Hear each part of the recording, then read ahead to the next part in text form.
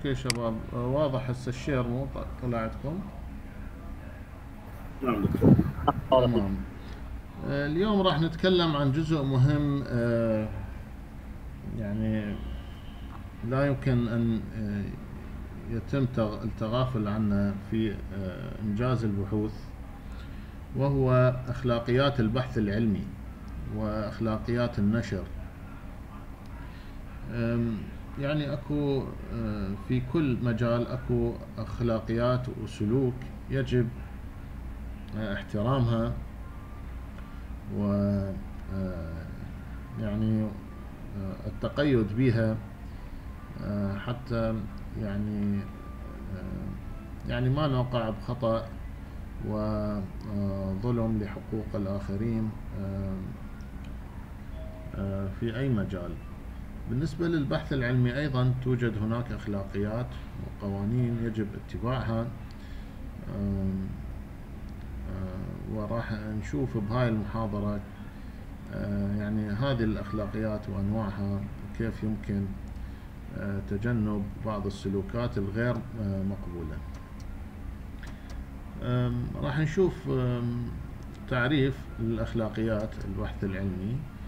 آه، التأليف المصالح ال- يعني متضاربة competing interests plagiarism اللي هي الانتحال آه، أو السرقة الفكرية آه، simultaneous submission آه، وأيضا research fraud وسلامي سلايسنج راح نتعرف على هذه المصطلحات المهمة اللي تخص أخلاقيات البحث العلمي ما هي أخلاقيات البحث العلمي؟ The rules that the researcher should stick to them during his research and publication process. القوانين اللي يجب أن يتقيد بها الباحث ويحترمها آه، خلال إنجازه لعملية البحث والنشر. تتكون آه، أخلاقيات البحث العلمي من آه، نقاط رئيسية اللي هي التأليف أو أخلاقيات التأليف. والمصالح المتضاربة وبلاجاريزم الانتحال الفكري أو السرقة الفكرية simultaneous submission يعني آه، التسليم الم- المتعدد أو النشر المتعدد research fraud التزييف و salami slicing اللي هو تقطيع البحوث. اولا authorship ال authorship معناه التأليف ال author an author is generally considered to be an individual who has made a significant intellectual contribution to the study يعني يعرف المؤلف بأن هو الشخص اللي آه، آه، يقوم بمساهمة فعالة وملحوظة مساهمة فكرية في دراسة معينة. لهذا ممكن أنه آه، نخلي فد معايير للأوثر. المعيار الأول اللي هو آه، المساهمة ال- آه، المهمة أو الفعلية في الدراسة أو في مفهوم الدراسة وفي التصميم. تصميم يعني الدراسة وما يتعلق بها من منظومات. وفي جمع البيانات data data acquisition and uh, analysis تحليل البيانات وتفسير البيانات. فإذا يكون ال- الباحث أو الشخص مساهم مساهمة فعالة في هذه الأجزاء اللي هي أجزاء البحث آه، فممكن آه، يعتبر author ومؤلف لتلك الدراسة. أيضا من واجبات المؤلف أنه يسوي revising و drafting لل article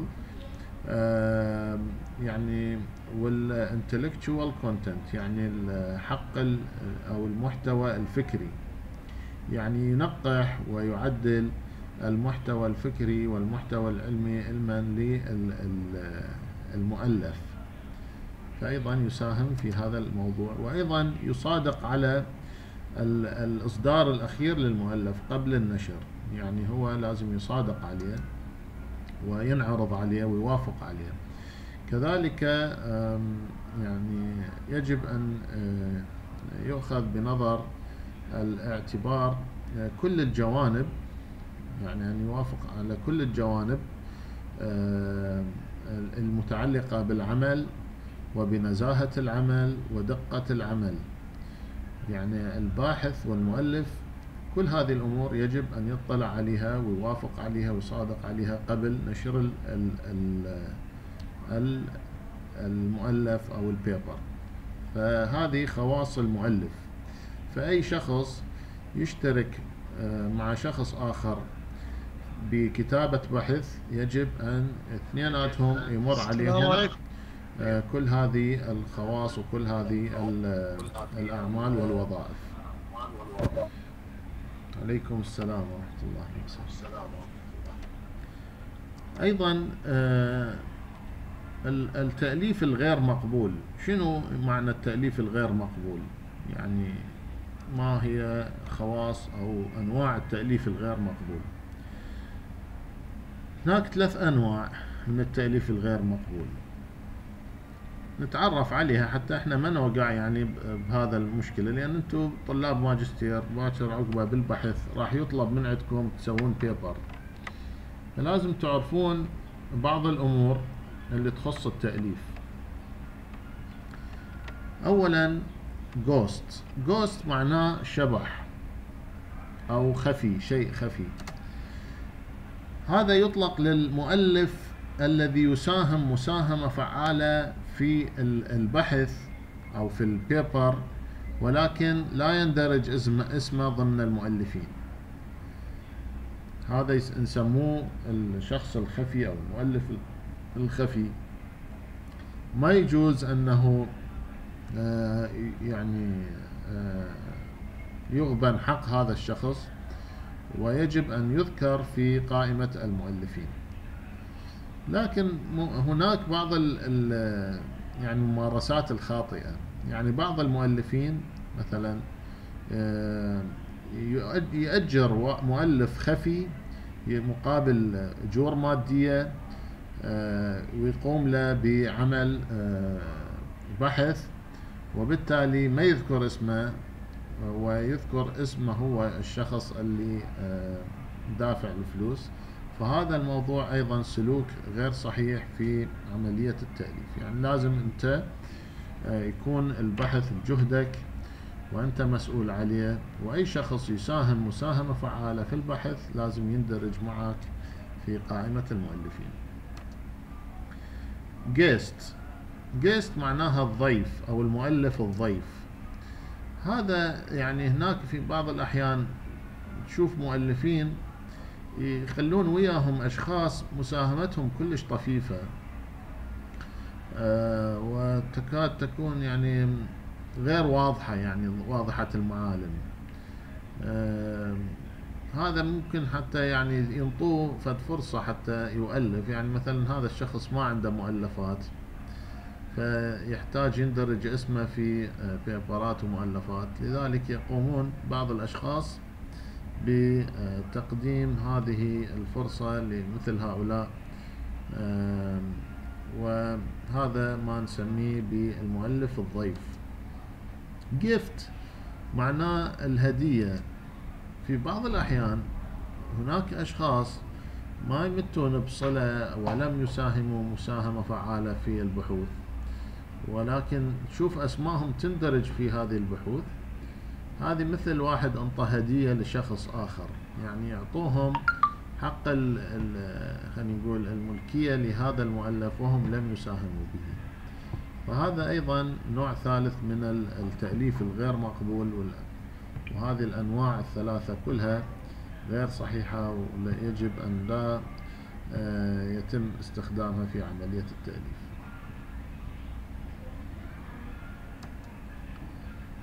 الآن نجي على موضوع المصالح المتضاربة وال يعني ال في البحث. يعني هناك بعض العلاقات relationships. عندما الشخص المقيم للبحث عنده علاقة شخصية أو مادية فبهيج حالة راح يكون قراره غير موضوعي. يعني راح ينحاز للمؤلفين آه، أو الجهة اللي تقوم بتأليف البحث يعني تحت الدراسة. فبهيج حالة هذه ما يسميه المصالح الغير أو المتضاربة. يجب أن ما تأثر هذه المصالح على عملية التقييم. آه، هناك أنواع لل competing interest أولا العلاقات المالية financial relationships والعلاقات الشخصية personal. آه، العلاقات المالية والمادية ممكن تكون آه، مباشرة. مثلا آه، يعني موظف أو أحتاج إلى التوظيف في مكان وهذه أنا دا أقيم لها بحوث فلازم ما أنحاز أوكي؟ أو مؤسسة تمنح منح مالية وبذات الوقت أنا عندي آه، يعني آه، استشارة أو تقييم لعملهم البحثي فلازم أيضا ما أنحاز لهم يعني من أجل أنه آه، أحصل على يعني مكتسبات أو منح مالية. أو أني أقوم بتأليف بحث ولكن أوجهه بهذا التوجه حتى أكسب الأموال. هذه كلها أمور غير صحيحة. الطريقة الغير مباشرة مثلا استشارات يعني يقدموا لي يعني استشارة أنا آه، لازم أقدم استشارة لمؤسسة داعمة. آه، فهذا أيضا آه، حتى يعني أبتغي رضاهم يعني أقوم أحيد يعني أو أنحاز لهم في قراري. أوكي؟ أو أيضا أنا أقوم بتأليف مؤلفات حتى آه، أوجهها باتجاه مؤسسة معينة حتى يعني يعني آه، شلون نقول إيجابية تقول تكون. آه، بالنسبة لمؤسسة أخرى حتى يعني أفوز بما أحصل دعم من عندهم دعم مالي وهكذا. يعني انحياز بمعناه الضمني أنه تنحاز إلى جهة داعمة للبحوث. أيضا علاقات شخصية مثلا أنت تقيم عمل مؤسسة ويعمل في هذه المؤسسة أحد أقاربك. فهنا الريلاتيف اللي هو القريب راح يأثر عليك وعلى قرارك. فلازم تكون في معزل عن هذا التصرف.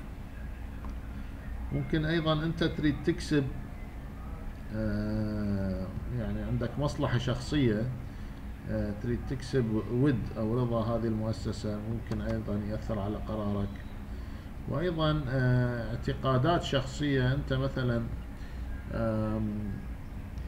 في البحث مالتك يعني الهايبوثيسز الفرضية البحثية فارض شيء وتقول مثلا الأداء راح يتحسن فلهذا تقوم من تطلع لك النتيجة عكس ما أنت فرضت تقوم تغير في النتائج وتتلاعب بها حتى ترضي آه، اعتقاداتك الشخصية.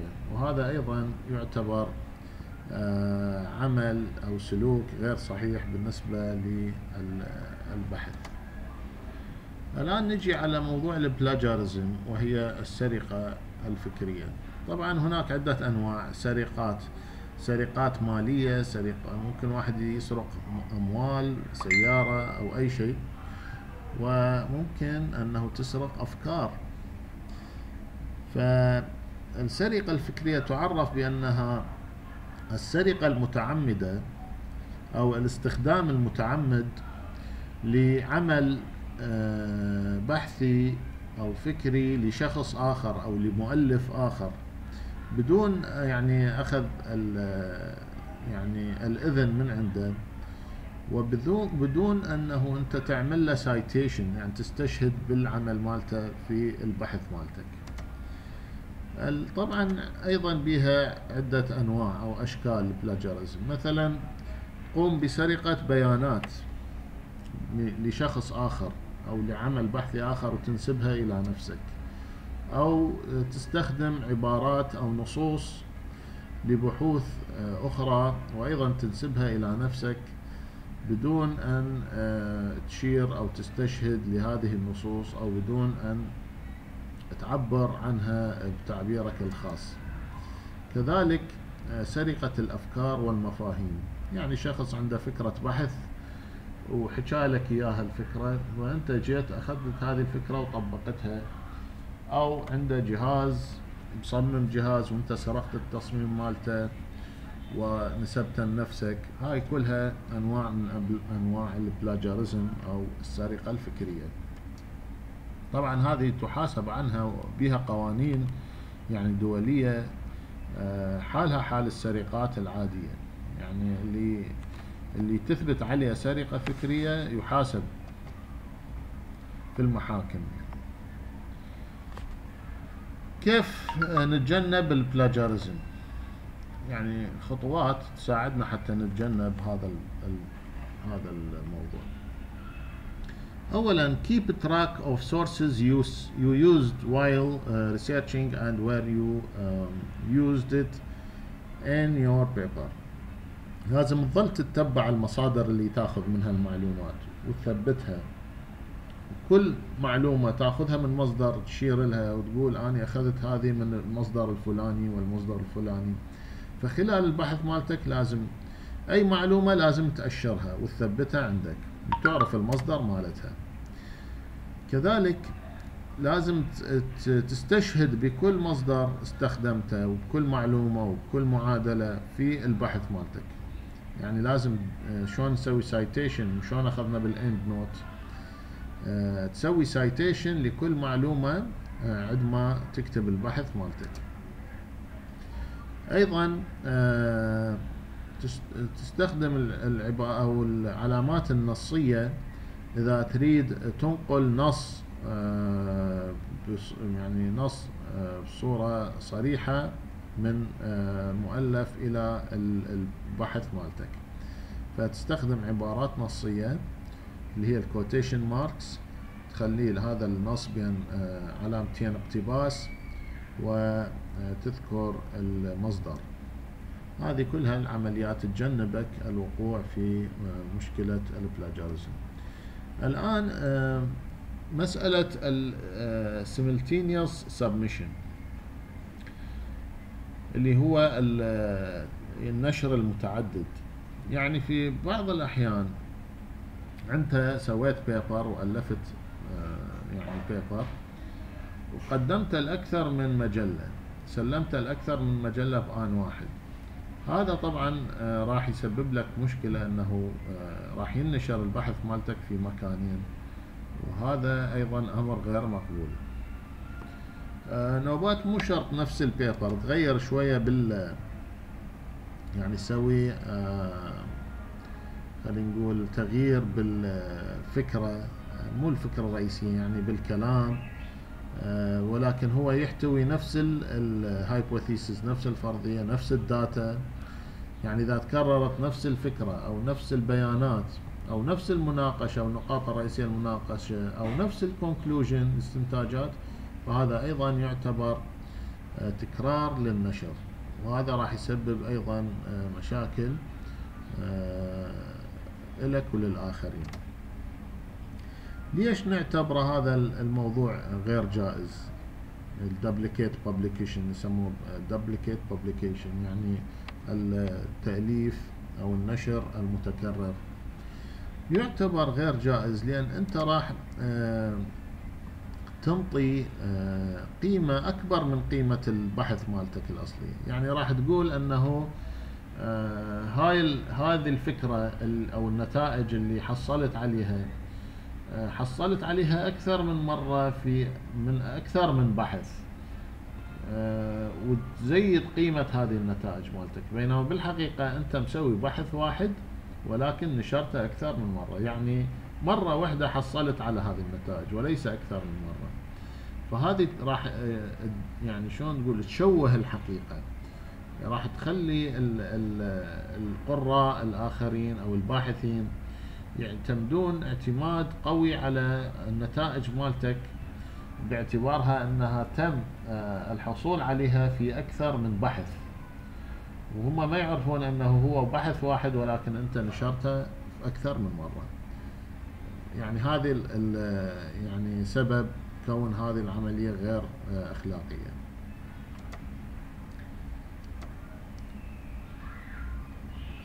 أيضا آه، التزييف تزييف البحث. ريسيرش فراود هي عملية آه، نشر البيانات والاستنتاجات اللي لم يتم آه، الحصول عليها من خلال تجارب أو ملاحظات عملية ولكن تم اختراعها واختلاقها والتلاعب ببيانات قديمة للحصول على بيانات جديدة. إذا هي عملية غير أخلاقية واضحة لأنه آه، بها قسمين أساسيين. القسم الأول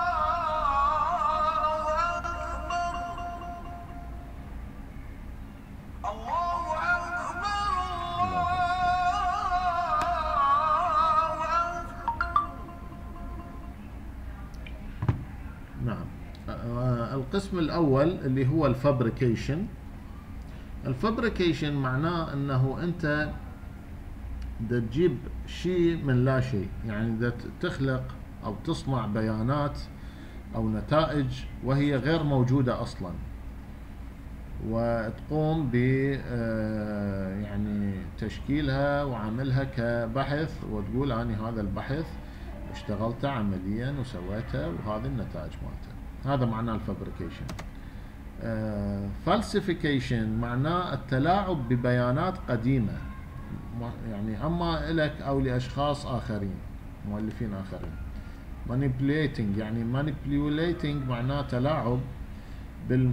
مو بس بالبيانات ممكن حتى الصورة. الصورة إذا تغير شوية بها وتنسبها لنفسك مثلا صورة جهاز أو figure أو شيء أيضا هذا يعتبر falsification uh, material data equipments أو حتى ال processes العم يعني العمليات أو ال يعني ال methodology. فلا أي شيء تأخذه من غيرك لازم تنسبه له حتى إذا تلاعبت به لازم تذكر أنت التغيير اللي غيرته. هذا كله آه، آه، يقع ضمن ال research fraud أو التزييف.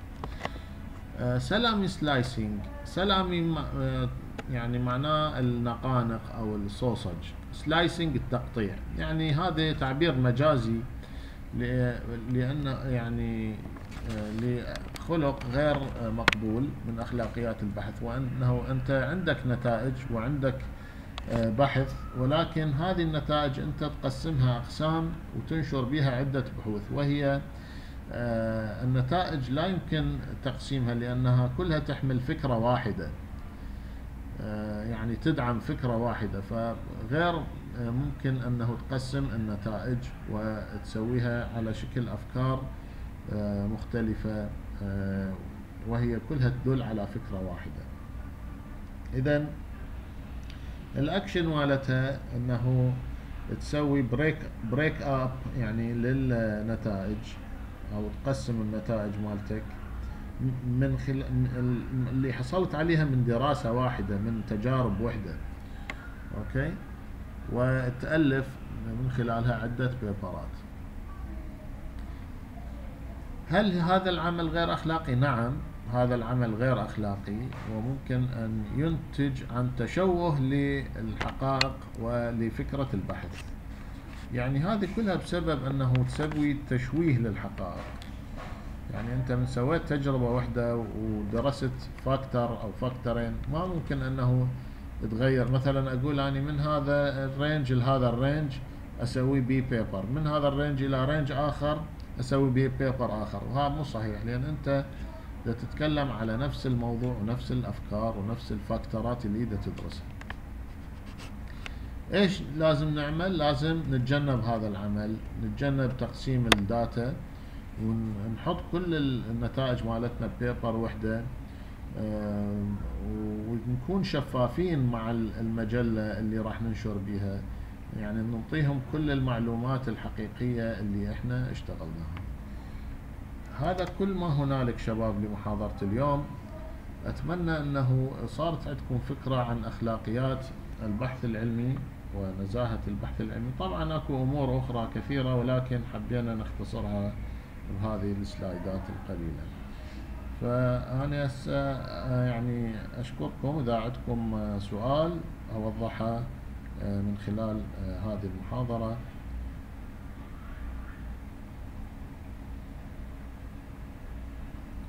ما أعرف عندكم سؤال تحبون أوضح نعم لكم دكتور. شيء؟ نعم. دكتور بس الفرق بين الجفت والجيست. الجفت هو واحد يعني ما له علاقة بالبحوث أو بالبحث اللي أنت مشتغله وما يدري بيه أصلا وأنت خليت اسمك اسمه معك. والجيست اللي هو مساهمته غير واضحة. يعني ما ما طبعا. مساهم بصورة واضحة بالبحث. نعم. دكتور يعني شلون هيك بهيك حالة ما مساهم بصورة واضحة؟ زين البحث. مو هو بس المفروض أنا بعدي أسوي مو هو وياك انت يعني انت موافق عليه تخليه وياك. آه. يعني اي يقدر شلون يقول مثلا آه، مثل مثلا إحنا قبل مشرفين يخلي واحد اثنين ثلاثة. اي مو صحيح. لا. نعم. بعد دكتور اثنينهن يعني ما مقرونات بالأموال الجفت وال- والجيست ممكن ممكن واحد يقول لك منطيك من ينطيك فلوس وانت تخلي اسمه. ممكن. بس هو على الأغلب يعني الجفت معناها هدية بدون مقابل. آه تمام تمام.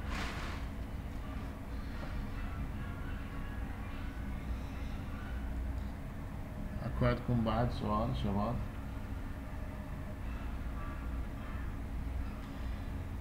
دكتور بس يمكن أنا قلت لك المحاضرة السابقة ما عندنا.